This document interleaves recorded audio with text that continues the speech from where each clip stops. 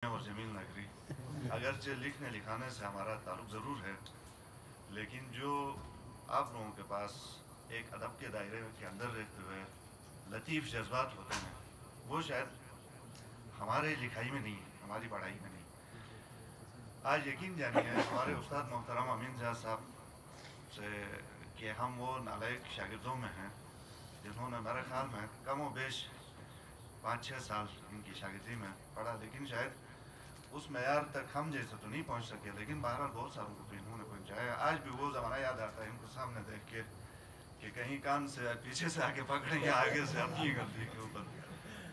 तो आप जैसे सितारे, हमारी गिलगित बल्तिस्तान के अदब के बहुत बड़े बहुत बड़ी हस्तियाँ, और जिनका भी हमने सुनना है, अदरवाइज़ हम सुनते रहते हैं। फिर जो नौजवान शरा यकीन जानिए कि फिर वही बात कि बेअदब, हम जैसे बेदब लोग भी हमें लगता है कि वाकई क्या कमाल की शायरी है, क्या कमाल के अल्फाज हैं, क्या कमाल का ख्याल है जो यहाँ पे पेश होता है।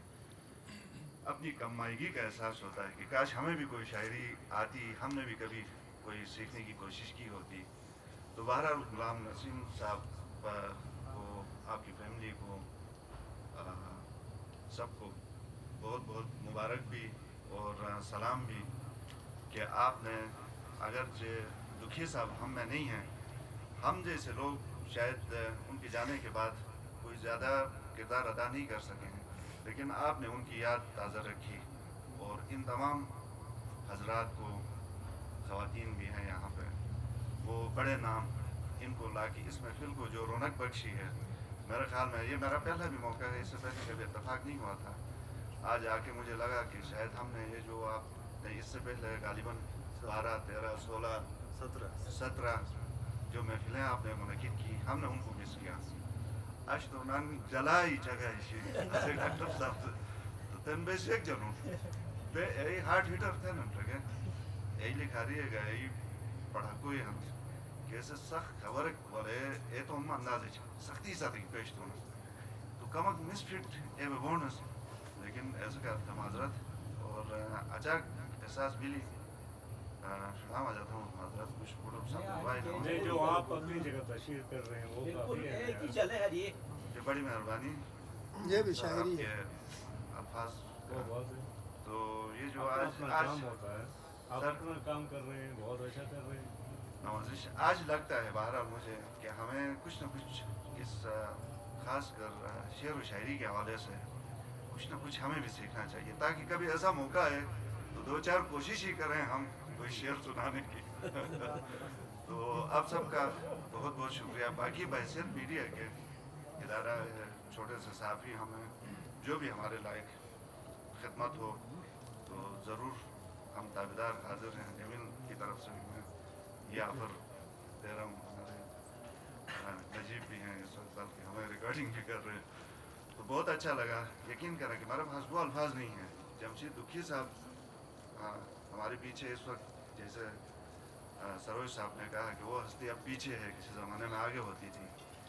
आ, आज से कोई एक मेरा ख्याल में दहाई पहले एक मुलाकात में उस दौरान कोई हमें भी थोड़ा सा शौक चढ़ा था कि इंग्लिश अखबार में जो हमारे बड़े बड़े अदीब हैं शरा हैं इनकी थोड़ी सी कवरेज करें।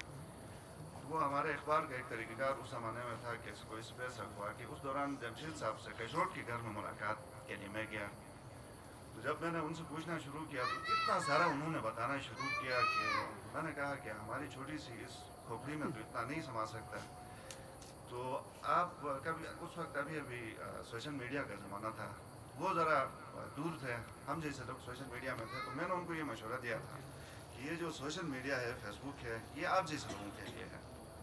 इतना आपके पास नॉलेज है? इतना आपके पास उस लेवल के शेर हैं, गज़लें हैं, पता नहीं कलाम हैं, तनसीफ़ हैं तो आप इसको उस पर डाला करें और उसका फ़ायदा उठाएँ। तो कोई पाँच साल बाद उन्होंने मुझे एक दिन सड़क पे चलते हुए कहा कि वो आपका मशवरा मैंने बरामद की है तो कोई अकाउंट बना के उसके ऊपर मैं डालने की कोशिश कर तो आज मैं देखता हूँ तो जो बड़े बड़े नाम डॉक्टर साहब के बारे में मुझे नहीं पता है कि ये अदीब शायर है, नहीं है। बाकी आप जैसे अमीन जया साहब। अच्छा और जो हमारे तमाम बड़े नाम हैं, बड़ी हस्तियाँ हैं, देख के बहुत खुशी होती है कि अब वो हमारा जो फ़न है, मैं तो मतलब अक्सर कहता भी रहता हूँ कि अमिन जहा साहब से चूँकि हमने डायरेक्ट पढ़ा है, उनका जो एक मैार था, वो हमने अपने आँखों से देखा है। जमशेद बुखी साहब से कभी पढ़ने का, शेर व शायरी का भी हमें इतफाक़ नहीं था, लेकिन जो कलाम उनके थे जो असर था, जो लोग जिस तरह सराहते थे, उसका कोई हमारे यहाँ पर मुकाबिल नज़र मद्द मुकाबिल नज़र नहीं आया। तो वो ऐसी हस्तियाँ, अब हम जैसे लोग, जैसे मैंने कहा कि वो अल्फाज तो नहीं हैं, इनको, उनकी शान के मुताबिक खराज तहसीन पेश करें। बहरहाल, अपने वो सख्त, जिसको मैं हार्ड ईटिंग मैंने कहा, उसी तरह सलाम पेश करने की, उनके खदमात के अतराफ़ की जसारत करता हूँ। और गुलाम नसीम साहब, आपकी फैमिली का एक बार फिर शुक्रिया कि आपने इतनी खूबसूरत यहाँ पे तकरीब का अहतमाम किया है और यकीन करें कि आपने हमें जिस तरह बुलाया सुबह नौ बजे इनका फ़ोन आया तो उस वक्त मैं उठा भी नहीं था। खैर तो ये इनकी मोहब्बत थी बाद में शाह साहब ने भी इंसिस्ट किया। तो आज आके मुझे लगा कि ये जो अट्ठारह महफिलें हमने मिस की तो आपका बहुत शुक्रिया आपने अरेंज किया और यकीनन बहुत बड़ी आपकी काविश है। हम सब सलाम पेश करते हैं। बहुत शुक्रिया।